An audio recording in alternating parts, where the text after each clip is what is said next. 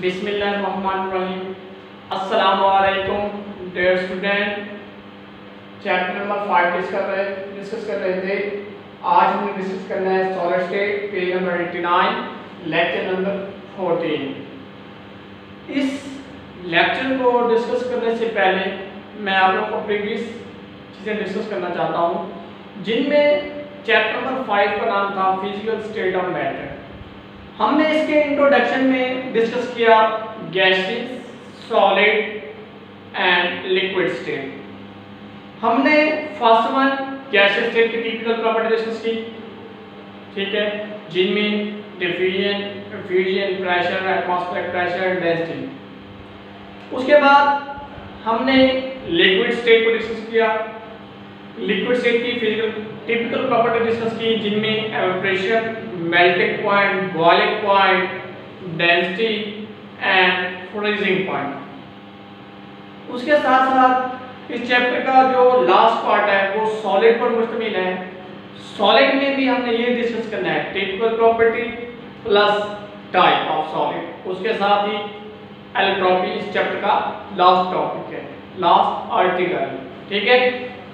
आज जो हमने डिस्कस करना है, वो सॉलिड के रिलेटेड डिस्कस करना है सॉलिड क्या है टिपिकल प्रॉपर्टीज़ को डिस्कस करना है। फ़र्स्ट वन सॉलिड को डिस्कस करते हैं chapter number five page number 89 lecture number 14 solid state आप लोगों ने इंट्रोडक्शन में कुछ बातें सॉलिड से रिलेटेड डिस्कस की। फ़र्स्ट वन हमने ये कहा have definite volume and shape. Definite volume होता है डेफिनेट शेप होती है। सेकेंड हमने कहा strong intermolecular forces strong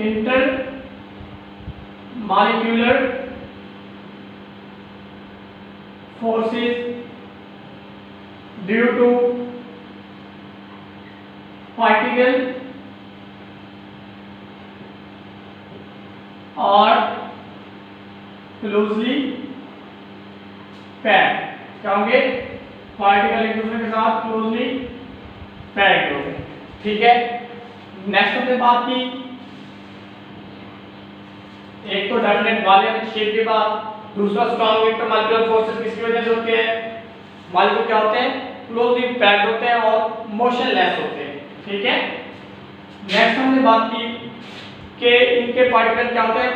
Particle movement are motionless particle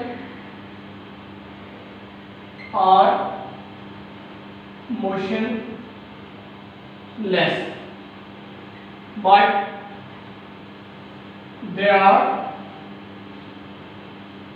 vibration जब हम इनको हीट करते हैं देन क्या होता है ये वाइब्रेट होंगे। ठीक है? नेक्स्ट हमने डिस्कस करना है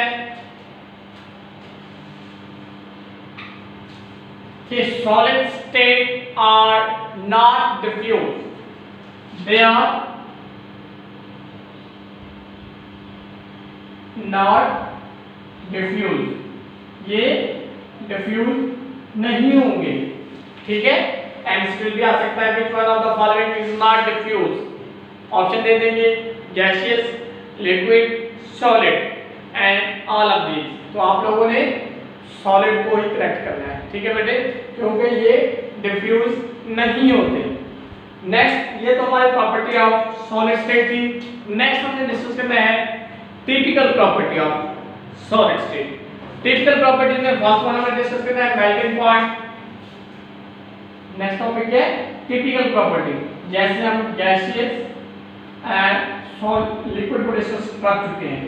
टिपिकल प्रॉपर्टीज़ टिपिकल प्रॉपर्टीज़ में क्या चीज़ें आएँगी? फ़र्स्ट वन मेल्टिंग पॉइंट क्या होगा? मेल्टिंग पॉइंट सेकेंड हमारे पास रिजिडिटी रिजिडिटी थर्ड हमारे पास क्या होगा? थर्ड हमारे पास होगा डेंसिटी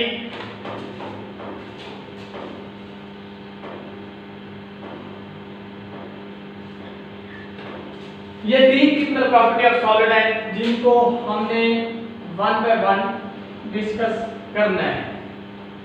पहले मेल्टिंग पॉइंट को कर लेते हैं।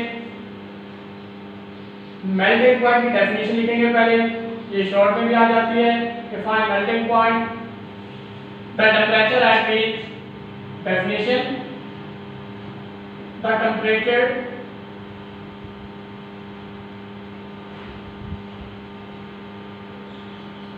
at which solid start melting. Solid start melting. Solid क्या हो जाएँगे? मेल्टिंग हो जाएँगे. In equilibrium with liquid state क्या होगा? Melting coexisting in dynamic equilibrium coexisting coexisting in dynamic equilibrium with liquid state liquid state अब ये देखिए क्या मतलब है डेफिनेशन का कि ऐसा टेम्परेचर जिसमें सॉलिड चेंज हो जाएगा लिक्विड स्टेट में यानी कोएग्जिस्टिंग हो जाएगी, उसे नाम दिया जाता है मेल्टिंग पॉइंट का।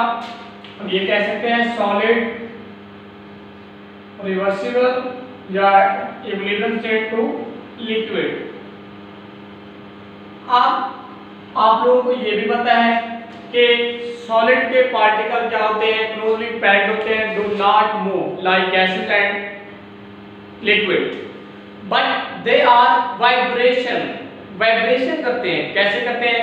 जैसे आप लोग इसको टेम्परेचर इंक्रीज करते जाओगे कंटिन्यूसली टेम्परेचर इंक्रीज करते जाओगे तो इनके पार्टिकल कॉन्टिन्यूसली वाइब्रेट होते जाएँगे। जैसे ये वाइब्रेट हो जाए, होते जाएँगे, ये अपनी फिक्स पोजीशन को लीव कर देंगे, छोड़ देंगे और फिर मोबाइल फॉर्म में चेंज हो जाएँगे। जैसे जैसे हम टेम्परेचर इंक्रीज करते जाएँगे। ठीक है? उसके बाद एक एमसीक्यू आता है, ionic and covalent form form network is macromolecule. MCQ ये देखना ionic and covalent to make framework is macromolecule macromolecule ये एमसीक्यू आता है।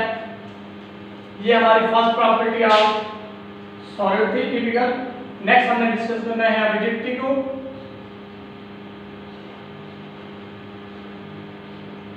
रिजिडिटी को डिस्कस करने से पहले मैं आपको ये बात बता दूँ कि मेल्टिंग पॉइंट इंपॉर्टेंट शॉर्ट है। ठीक है? डिफाइन मेल्टिंग पॉइंट और इसमें हमने एमस्क्यू की बात भी की। अब रिलेटिविटी में क्या होता है? Solid particle are not mobile they are fix position solid are relative structure solid particle not mobile relativity point not mobile particle due to fix position fix position उसके बाद हमने कहा, they form rigid they form rigid structure rigid structure कैसे बनाते हैं? ये आप लोगों को पता होना चाहिए सॉलिड क्योंकि इनके मॉलिक्यूल ही इनके मॉलिक्यूल क्या होते हैं? मोबाइल फॉर्म में नहीं होते मूवेबल नहीं होते, इसलिए इनकी फिक्स पोजीशन होती है। इसलिए क्या बनाते हैं? रिजिड स्ट्रक्चर ठीक है? ये हमारा पॉइंट क्या था? रिजिडिटी का। नेक्स्ट हमने डिस्कस करना है डेंसिटी को। डेंसिटी को डिस्कस करने से पहले मैं आपको बता दूँ चैप्टर नंबर फाइव डिस्कस कर रहे हैं। Solid state property of solid state discuss की। उसके बाद टिपिकल प्रॉपर्टी टिपिकल प्रॉपर्टी में हमने डिस्कस किया मेल्टिंग पॉइंट और रिजिडिटी नेक्स्ट हम डिस्कस कर रहे हैं डेंसिटी को। ठीक है? किसको डिस्कस कर? डेंसिटी को। डेंसिटी में आप लोगों ने ये लिक्विड टिपिकल प्रॉपर्टी में डिस्कस किया गैसेस में भी डिस्कस किया। सॉलिड में डिस्कस करने के लिए इसमें एमसीक्यूज आते हैं, ठीक है? Density first point greater density होती है। Greater density of solid due to no empty spaces इनमें क्या नहीं होता? एम्प्टी स्पेसेस नहीं होती, ठीक है? दूसरी बात हमने कहा strong intermolecular forces strong intermolecular forces आप लोगों ने कंप्लीटेड नहीं से ठीक है? तीसरी बात हमने की not mobile but they are fix position ठीक है? ये हमने डेंसिटी में डिस्कस किए। नेक्स्ट हमने क्या डिस्कस करना है? नेक्स्ट हमने ये डिस्कस करना है, आपको ये भी पता होना चाहिए एमसीक्यू में आ सकता है कि गैसेस की डेंसिटी ज़्यादा होती है लिक्विड की या सॉलिड की, आप कहेंगे सॉलिड की डेंसिटी ज़्यादा होगी, ठीक है? उसके बाद डेंसिटी जाता है कि एल्यूमिनियम की डेंसिटी कितनी है आयरन की डेंसिटी कितनी है, और गोल्ड की कितनी है। एल्यूमिनियम की 2.70 लिख देता हूँ इधर। एमसीक्यूज आते हैं। आपको पता होना चाहिए एल्यूमिनियम आयरन गोल्ड ठीक है? इसकी डेंसिटी 2.17 ग्राम पर सेंटीमीटर क्यूब उसके बाद आयरन गोल्ड की डेंसिटी ये भी एमसीक्यूज है। आयरन कितनी है? 786 ग्राम पर डेसीमीटर क्यूब उसके बाद गोल्ड की है। गोल्ड की डेंसिटी भी इसी तरह है 19.3 19.3 ग्राम पर सेंटीमीटर क्यूब ठीक है? एमसीक्यू सकते हैं। एल्यूमिनियम की डेंसिटी क्या है? आयरन की डेंसिटी क्या है? और गोल्ड की डेंसिटी क्या है?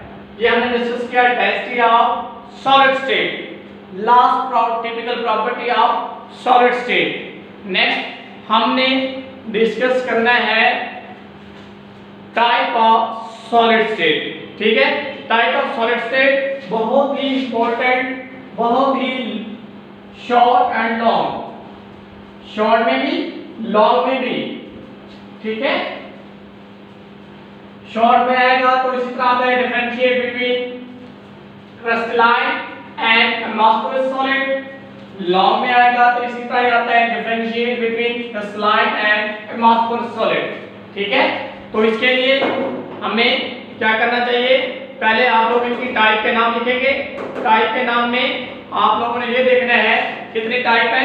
टाइप में amorphous and crystalline type of solid discuss करना है। टिपिकल प्रॉपर्टी एंड हो गई। टाइप ऑफ़ सॉलिड कितनी टाइप है? टू टाइप्स ठीक है? शॉर्ट क्वेश्चन या एमसीक्यू आ सकता है। टू टाइप्स नाम क्या है इनके? Crystalline second amorphous amorphous solid ठीक है?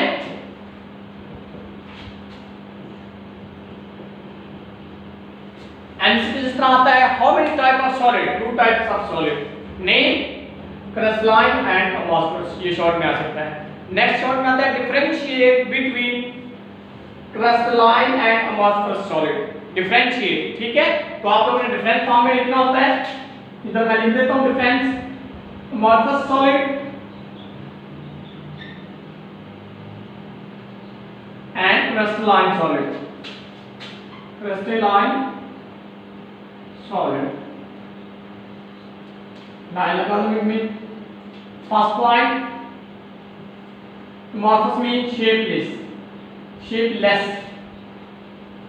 morphous mean shapeless MCQ भी आ सकता है मॉर्फस मीन आप लोगों को बताओ शेपलेस ठीक है? Next point irregular arrangement of particle. Irregular arrangement of particle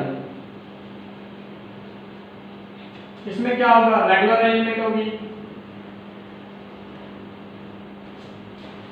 इसमें प्रॉपर शेप होता है। इसका फ़र्स्ट पॉइंट आप देख सकते हैं। इधर शेपलेस है। तो इसमें specific shape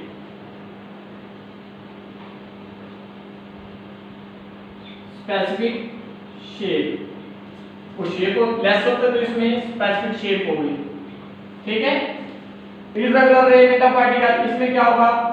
Regular arrangement of particle regular arrangement of particle ठीक है? High point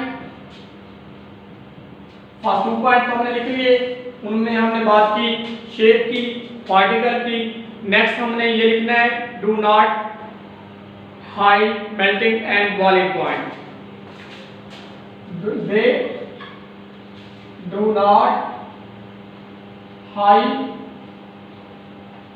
melting and boiling point M P melting point BP boiling point ठीक है? थर्ड पॉइंट इसका क्या होगा? They have short melting and boiling point. ठीक है? Last point क्या होगा? इनके एग्जांपल ले दें एग्जांपल अगर हम इमोस्कोस की एग्जांपल देखें तो इमोस्कोस में एग्जांपल आ जाती हैं glass rubber plastic glass rubber plastic ठीक है? अगर हम अगर आप एग्जांपल देखें कसलाइन में। हमने ये बात की स्पेसिफिक अरेंजमेंट होती है। जब हम स्पेसिफिक अरेंजमेंट की बात करते हैं तो फिर हम सोडियम क्लोराइड की क्यूबिक स्ट्रक्चर होती है। सोडियम क्लोराइड के एग्जांपल दे दें डायमंड के एग्जांपल दे दें। ठीक है? Diamond diamond and sodium chloride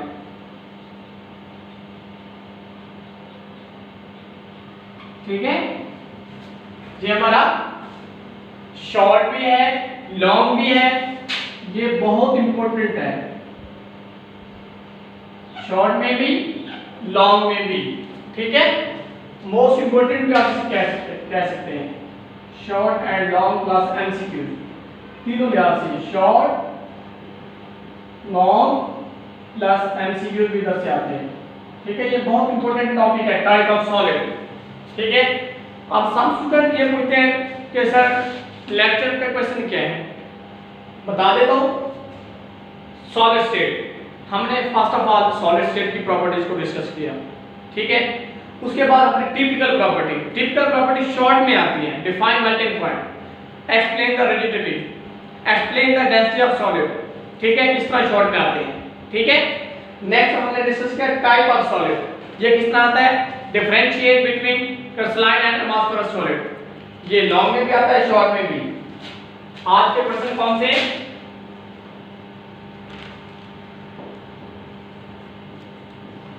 property of solid first तो हमने जो प्रॉपर्टी डिस्कस की property of solid second question define melting point. Third, explain rigidity of solid. Define melting point of solid. ये आप लोगों को जो भी टिपिकल प्रॉपर्टी देंगे, उनमें आप लोगों ने ये लिखना है. एक्सप्लेन रिजिडिटी ऑफ़ सॉलिड वो आपको नाम देंगे कि गैसेस को एक्सप्लेन करो सॉलिड को, या फिर लिक्विड को. लास्ट हमारा क्या है? Difference difference between slime and amorphous five क्या है? आपको एक्सप्लेन करना है डेंसिटी को. ये हमारे टुडे लेक्चर के शॉर्ट है. एक्सप्लेन डेंसिटी इसमें एमसीक्यू भी बनते हैं. ठीक है? अगर किसी को अभी भी समझ है तो आप लोग कमेंट्स में पूछ सकते हैं. ठीक है बेटे? ओके अल्लाह हाफिज़.